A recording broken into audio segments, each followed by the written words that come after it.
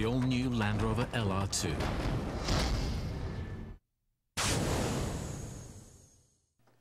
Hello and welcome to Tech 101. I'm Arik Hesseldahl, Senior Technology Writer here at BusinessWeek.com. This is our weekly podcast where we answer your questions about technology. And as usual, send us those questions. The address is tech101 at BusinessWeek.com. We love your questions. We need your questions, so keep them coming. Last week, I talked way too much about wireless security. And so what we decided to do is take uh, what was really a long episode, split it into two. So right now we're going to show you part two of the basics about wireless networking security. Here you go. All right, now I've disconnected the Linksys router and I'm going to move over to the Airport Extreme from Apple. Now by the way, uh, don't be confused, this thing works with Macs equally as well as with PCs and the application I'm going to show you here is identical whether it's on a Mac or PC. Uh, it's just configured a little differently. Instead of configuring it from a web browser like we did with the Linksys, you have an application called Airport Utility and uh, shows you very nicely what the application looks like. All right, so let's look at the access control on the Airport Extreme. We pull down to timed access. Radius is something that really only applies to corporate users. And here you have a default setting. Everybody can get on and it's unlimited. So if you've got kids, I'm going to configure this computer. And there you see I just automatically added in that, uh, that MAC address. Now the other thing that you can do here, say you've got a kid operating this computer and you don't want them to have access to the internet after say 10 p.m. So you can set that. I only want him to have access on weekdays between 9 and 5. There we go. So, now go back in and edit it. And change it back. I want weekdays all day. So you can work with the various options to set this just the way you like it. But I'm actually going to delete it now.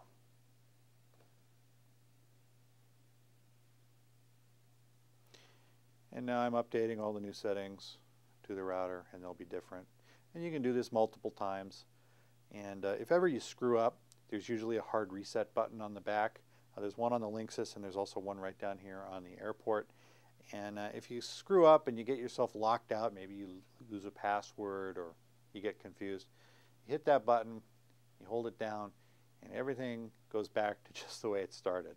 Sometimes it's better to start with the default and start with a clean slate, and I've had to do it many times myself. Now one thing I need to show you before we go um, is how to find your MAC address on Windows. I didn't get to do that before because I had the Mac up here. And so let's take a look at the Windows situation. Uh, you need to bring up a command line. So you go to run cmd, it's already been typed in there, and go OK.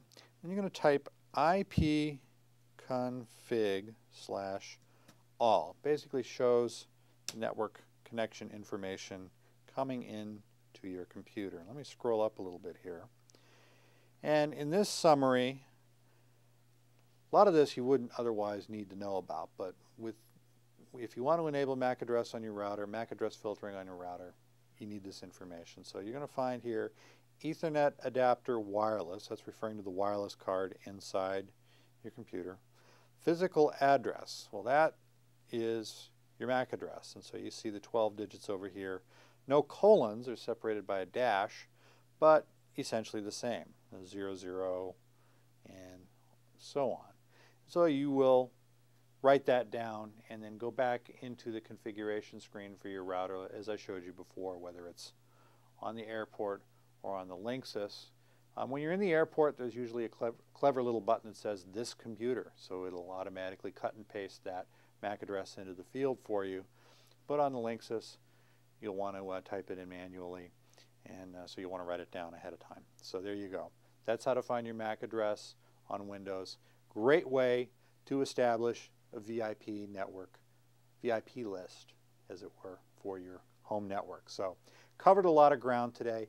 If none of this made sense, feel free to drop me an email and I'll try to clear it up for you because I do promise that this stuff is supposed to be simple and when it's not, it's not your fault. And that applies to when I explain it too. So if you need a little more guidance on exactly what all this refers to, drop me an email. I'll do my best to answer you. Tech101 at businessweek.com and as I said before, keep the questions coming because we love them and we need them. So that wraps it up for this week. I'm a little worn out. that was a lot of information. Come back next week and we'll talk about something else. See you next week.